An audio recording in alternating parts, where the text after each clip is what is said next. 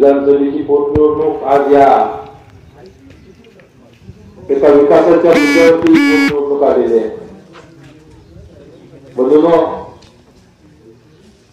गेल्या अकरा वर्षापासून त्या मतदारसंघाचा या तालुक्याचा आपल्या भागाचा जो विकास व्हायला पाहिजे होता तो विकास कुठेतरी थांबलाय. हा विकास पूर्ण करण्यासाठी त्या विकासासाठी आज आपल्यासमोर मी मत मागायला हवा आहे. बंधूंनो पाठीमागच्या वर्षामध्ये आपण बघतोय ज्या समस्या आहेत त्या समस्या तशाच राहिलेल्या आहेत. प्रामुख्याने सगळ्यात मोठी समस्या आपली पाण्याची समस्या आहे. वाडी वस्तीवरच्या रस्त्यांची समस्या आहे. आरोग्यविषयक समस्या आहे. विजेच्या समस्या आहेत. आणि नवीन जनरेशन जे येणार आहे त्या जनरेशनला असणाऱ्या त्या युवकांना लागणाऱ्या मार्गदर्शनाचं म्हणजे या शैक्षणिक सुद्धा फार मोठी समस्या आहे. तालुक्याच्या बाउंड्रीवरती असणार आपलं गाव ज्या पद्धतीला त्या सोयी सुविधा व्हायला पाहिजेत. त्या सोयी सुविधा आज अपुरे पडतात.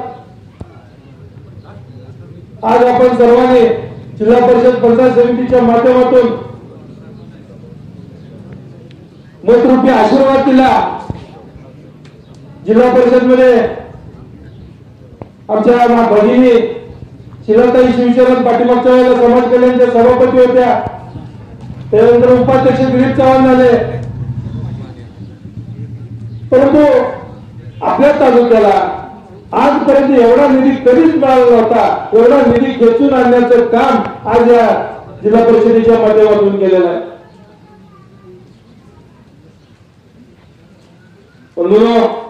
वाढत्या ओळखीचा असला तर आपण पंक्तीच्या शेवटच्या रांगेत जरी बसलो असलो तर ते चांगलं ताक आपल्याकडे येणार आहे. पण असणारा आपला वाढत्या त्या राजकीय ताकदीचा वाढत्या हा आपला असला पाहिजे.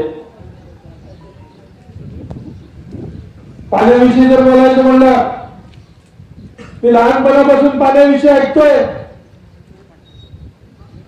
किती समस्या सुटल्या आपल्या किती शाश्वत पाणी मिळालं या गोष्टीचा आपण विचार केला पाहिजे.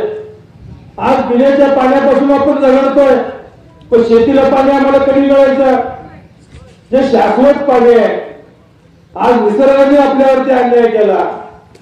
पण आज ज्या निसर्गाने केलेला अन्याय असेल किंवा निसर्गाच्या ज्या नॅचरल गोष्टी असतील नैसर्गिक गोष्टी असतील त्या नैसर्गिक गोष्टीवरती कुठेतरी मात करून आपण एक चांगलं जीवन जगलं पाहिजे. ज्या गोष्टी नैसर्गिक आहेत त्याही आपणही मान्य केल्या पाहिजेत. जे खरंच पाणी येणार असेल किंवा किंवा पाण्याबाबतीत जे आजपर्यंत बघतोय आपण की पहिल्यापासूनच्या ज्या योजना आहेत तेल दोंडा चाळीस जोडण्यापासून ते आज आपण पस्तीस गावापर्यंत बघतोय.